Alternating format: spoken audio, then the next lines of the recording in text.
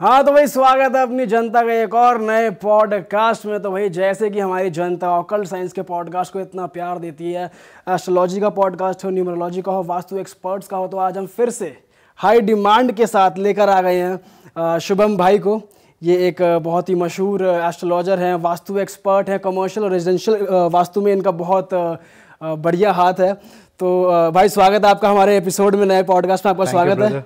भाई कितनी तीसरी बार है चौथी बार आए हो? चौथी बार आए चौथी बार आज वाह यार अब तो ये रिश्ता बैठ गया दिल का रिश्ता हो गया। रिश्ता मेरे ख्याल से पहली बार में बैठ गया था क्या? हाँ सही बात है भाई और भाई के साथ ऐसा है कि भाई जब भी आते हैं तो अपने पैरानॉर्मल किस्से ज़रूर बताते हैं जो वास्तु विज़िट पे उनके साथ होते हैं। तो भाई इस बार कुछ है हमारी ऑडियंस के लिए बढ़िया सा? रिसेंट का ही है दो तीन है। बढ़िया इस बार करते हैं अपन। कोई आसपास का है नोएडा दिल्ली दिल्ली का ही है यार। क्या बात। दो दो दिल्ली एक अल्बर्टा कनाडा। मतलब दो तो दिल्ली का यहीं की है। अच्छा। तो एक रेसिडेंशियल है तो उससे ही अपन वो करते हैं डरावने से चालू करते हैं। यार देखो डरावना ना सभी होता है टेक्निकली आप लोग के लिए। ठीक है मेरी तो वो आदत है। हाँ। तो सबसे मेरे ख्याल से जो कि मेरे क्लाइंट से मतलब जो सिचुएशन समझ आ जाता है देख के कि कौन किस सिचुएशन में है।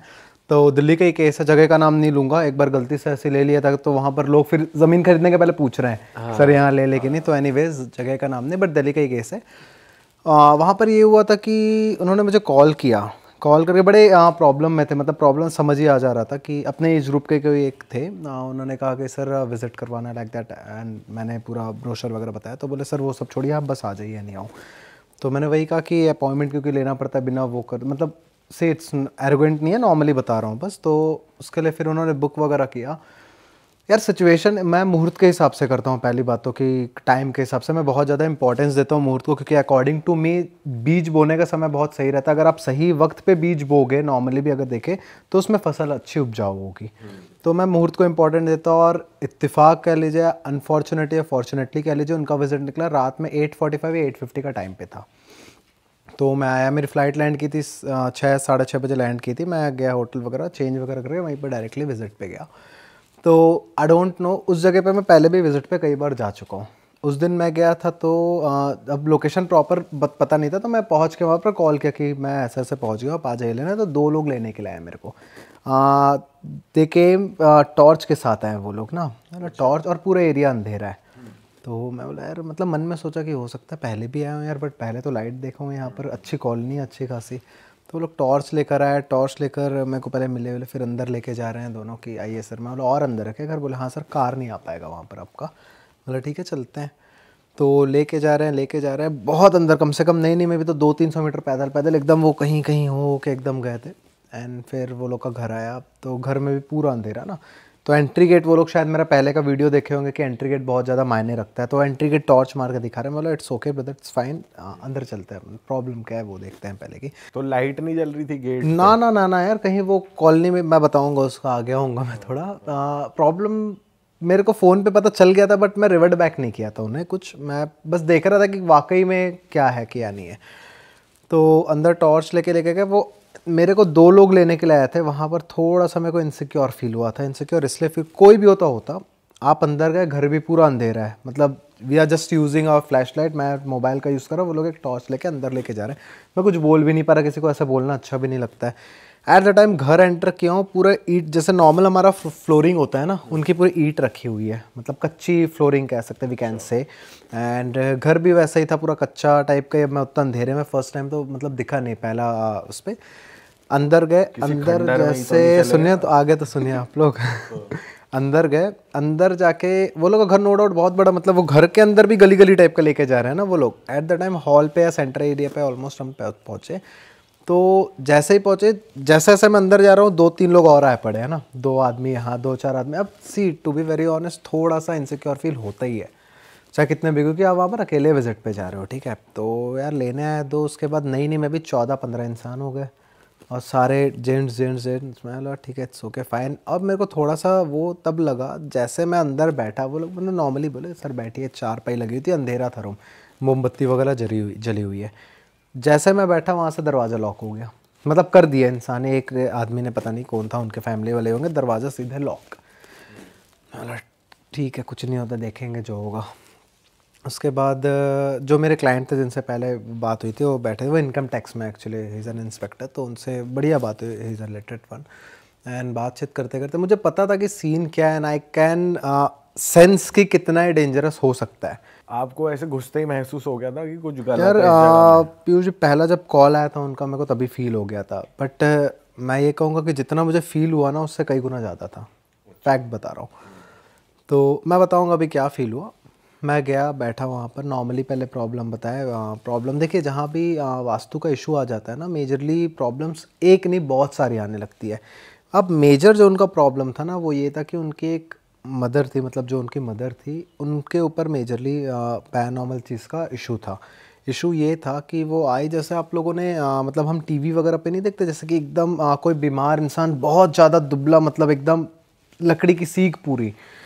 तो उन्होंने कहा मेरे क्लाइंट ने कि सर मदर की तबीयत बहुत ज़्यादा ख़राब है, वो मेजर इशू है तो आप उन्हें एक बार मिल लीजिए, देख लीजिए बोला इट्स ओके फाइन तो फिर वो अंदर, वही अंधेरे अंधेरे में उनसे पूछ लिया कि, अरे, क्या है?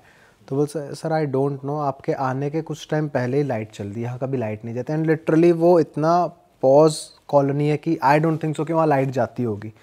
दिल्ली का ही है, जाती भी तो शायद डीजी जनरेटर सब रहता है बट उस दिन वो लाइट आई नहीं रही तो वो लोग बोले भी पहले भी जा चुके बट पाँच सात मिनट के अंदर आ जाती है।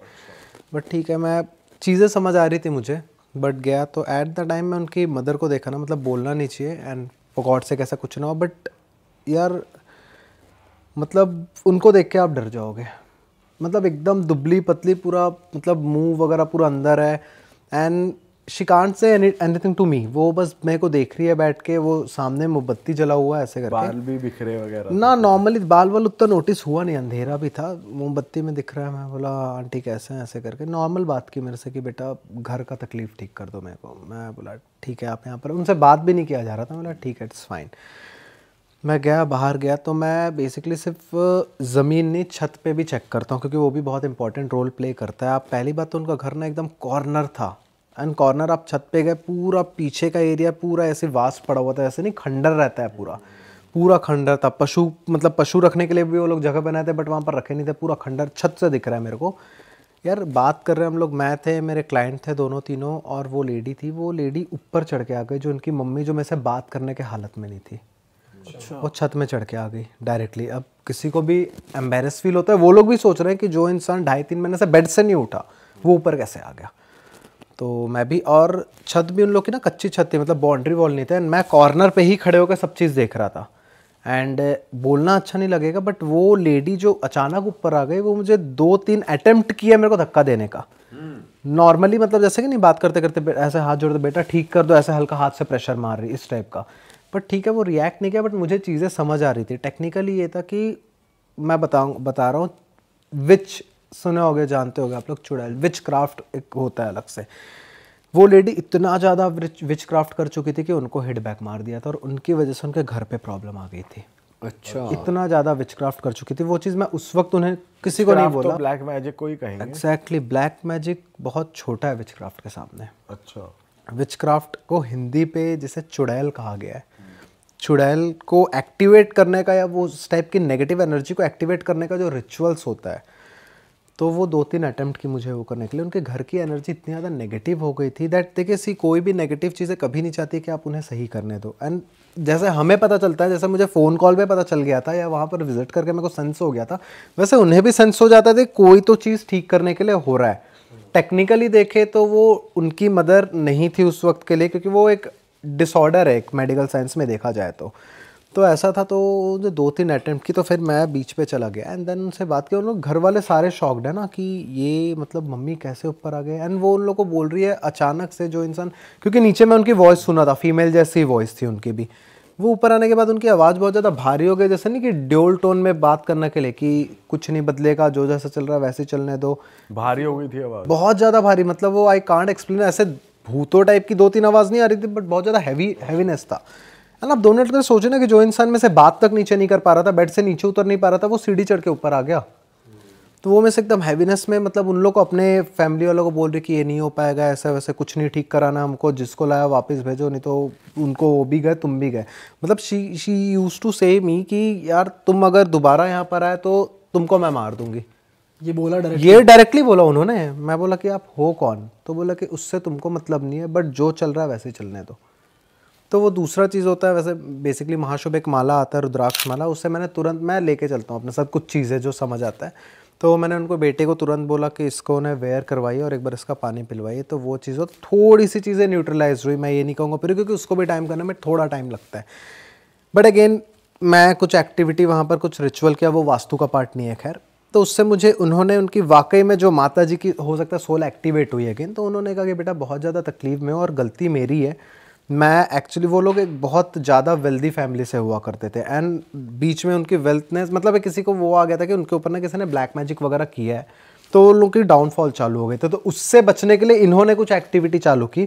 अब उस एक्टिविटी में ये इतना ज़्यादा इंडल्ज हो गए, इतना ज़्यादा इंडल्ज हो गए कि अब उसे वो कंटिन्यू करे तो वो मुझे क्लियरली कह रही कि, बेटा सॉरी मैं इस टाइप का, मुझे माफ़ कर दो बट ये चीज़ को मैं नहीं कर सकती, मैं इसको छोड़ना नहीं चाहती हूँ और मेरे को यहाँ पर रहना भी अच्छा नहीं लगता है। मतलब वही वाला सिचुएशन ना कि ना उगल सकते हैं, ना निकल सकते हैं, वो वाला सिचुएशन आ जा रहा है। तो बोली, कुछ भी कर दो बेटा, मेरे फैमिली के लिए इसको ठीक कर दो और मैं ज़्यादा दिन यहाँ रह नहीं पाऊँगी, मेरे को मरना है। लेकिन अगर मैं मरी सिचुएशन के साथ तो इस घर से किसी ना किसी को लेकर जाऊँगी।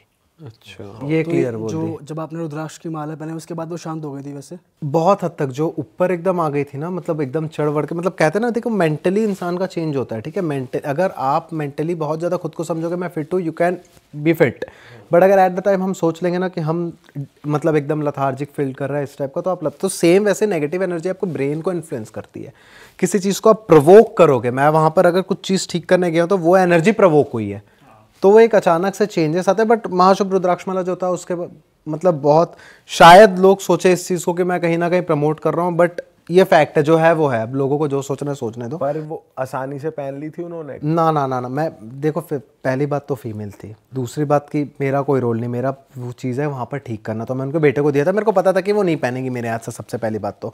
तो उन्हें तो पहले झूठ बोलकर पानी पिलाया गया था उसका क्योंकि अगर नॉर्मली बोलते तो उन्होंने ये कहकर पानी पिलाया कि मम्मी जी मतलब उनके जो बेटे थे जो मेरे क्लाइंट थे कि बहुत थक गई हो ऊपर वगैरह अचानक चढ़ गई हो तबीयत ठीक होने वाला पानी पिलो उसमें दवाई दे पिला रहे हैं। तो वो पानी भी पानी पीने के बाद कुछ सात से दस मिनट का टाइम मिनिमम लगा था उन्हें न्यूट्रलाइज होने में अदरवाइज़ यूज़ लाइक कि तुम जाओ, मेरे को कुछ नहीं कराना है। ये घर आज भी मेरा है और यहाँ से मैं किसी को लेकर जाऊँगी। तुम लाइक like दैट मतलब इस टाइप का कर रही थी। बट हाँ वो चीज़ें न्यूट्रलाइज थे रुद्राक्षमाला किए। फिर वहाँ पर प्रॉब्लम ये था majorly as I told you कि वो इतना ज़्यादा विचक्राफ्ट कर चुकी थी और इस बात में उनकी बहुएँ जो थी मतलब जो उनके बेटे की वाइफ थी, वो सारे दो थे वहाँ पर, वो दोनों एग्री किए थे। बोलते कि, सर, जब रात में सब कोई सो जाते हैं तो साढ़े बारह, एक बजे के करीब ना उठ के मम्मी जी जाती है शमशान घाट। शमशान घाट जाकर वहाँ पर भस्म लगाती है अपने सर पे और जब हम घर पे, जैसे कि अगरबत्ती वगैरह जलाते ये उन्होंने बोला मुझे कि जब भस्म वगैरह हम मतलब अगरबत्ती वगैरह जलाते तो उसका जो गिरता है तो उसको देख कर बोलती है कि बेटा इंसानी भस्म ज़्यादा अच्छा रहता है, इससे ज़्यादा।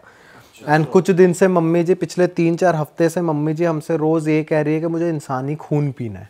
अच्छा। तो ये उनके घर में चल रहा था। प्रॉब्लम मेजरली वही थी कि इतना ज़्यादा रिचुअल देखो कोई भी चीज़ ना लेट अस सपोज़ कि आप नेगेटिव कोई भी चीज़ को अगर अपने घर पे कर रहे हो चालू तो आप एक कमरे से करोगे बट वो चीज़ फैल जाती है। और वो चीज़ फैलना भी इशू नहीं है। इशू तब आता है ना कि जब नेगेटिव और पूरे घर पे फैल जाता है तो वो नेगेटिव एंटिटीज़ को अट्रैक्ट करता है। उस वक्त तक उनके घर में कोई एंटिटी अट्रैक्ट नहीं होती बट कहीं ना कहीं उन वो चेंज हो रही थी उस चीज़ में। जो देखो कहा जाता है ना डायन या चुड़ैल वो एक्चुअली ऐसे बनते हैं। वो इंसान रहते हैं कोई प्रेत नहीं रहते हैं वो लोग। वो इंसान रहते हैं जो अपने आप को उस लेवल का पहुँचा देते हैं। मैं ऐसा ऐसा पर इस केस में आंटी के ऊपर तो थी ना नेगेटिव उनके ऊपर थी यार बहुत पीक पे थी। मतलब आप समझ सक रहे हो मैं खैर ये बात उन्हें डायरेक्टली कहा भी नहीं आज तक नहीं कहा मैं। बट जो एनर्जी दो तीन बार मुझे, कहीं ना कहीं वो मुझे मारना ही चाह रही थी। कॉर्नर में मैं खड़ा था, तीन चार अटैम्प्ट किया उन्होंने। तो वो चीज़ समझ आ जाता तो उनके ऊपर थी तो बेसिकली वहाँ पर देखो, अब प्रॉब्लम वहाँ आ जाती तो ज़मीन में मेजर प्रॉब्लम थी। मैं मैं हमेशा फोकस करता हूँ कि चीज़ें ठीक कैसे किया जाए। क्योंकि वहाँ पर we can't say at all कि वहाँ पर वास्तु का इशू था। था वास्तु का इशू थर्टी फोर्टी परसेंट था। एंड मैं सिर्फ़ वास्तु करता नहीं हूँ बोलता बस हूँ कि हाँ ठीक है वास्तु है। बट मेरे वास्तु आप लोग भी जान रहे हो कि वास्तु के अंदर मेरे बहुत सी चीज़ें इन्वॉल्व रहती है। यंत्र मंत्र का भी पार्ट आ जाता है तंत्र का भी पार्ट आ जाता है न्यूमरोलॉजी वगैरह का भी आ जाता। पे आपने तंत्र किया? मेजरली वहाँ की चीज़ें ना लैंड इशू को न्यूट्रलाइज किया गया था तंत्र मंत्र यंत्र तीनों का यूज़ किया गया था। वास्तु तो बहुत बाद में वहाँ पर आया था चीज़ों को सेट करने में। लैंड एनर्जी न्यूट्रलाइज बेसिकली वहाँ पर की गई थी वहाँ पर नाभि विधि पूरा किया गया था। नाभि विधि बहुत ज़्यादा आजकल मार्केट में वो चल रहा है और कहीं ना कहीं मिथ्स बहुत ज़्यादा है। हमने ऐसा डिसाइड मतलब एक चीज़ बनाया, एक प्लेट बनाया बेसिकली हमारे वेबसाइट महाशुभ डॉट कॉम पर मिल जाएगा। उसके अंदर सारी चीज़ें ऑलरेडी इनग्रेव्ड रहती है। हमारा काम ये रहता है कि बस उसको घर को सेंटर पे उसे नीचे हम दबा दें। वो पूरी मतलब 40 50 परसेंट इशू को ऐसे सॉर्ट आउट कर देगा। नाभि विधि कहते हैं उसको। नाभि विधि एंशियंट नाम है उसका। उसी को ही देखो हर चीज़ ना अकॉर्डिंग टू मी वास्तु हो गया कुछ भी हो गया समय के साथ बदलते रहता है। अब आप बैठे रहोगे कि हमें पुराने ज़माने का ही वास्तु करना हमें एंशियंट वास्तु करना तो वो आज के डेट में पॉसिबल ही नहीं है। और शायद वो आपको रिज़ल्ट ना दे। एज अ टोल्ड यू यार कि मेरा मेजर फोकस रहता है रिज़ल्ट में। सिंपल सी बात है यार मैंने लाखों लाख रुपए लिए तो मेरा फोकस रहेगा कुछ भी करके इनको रिज़ल्ट दो।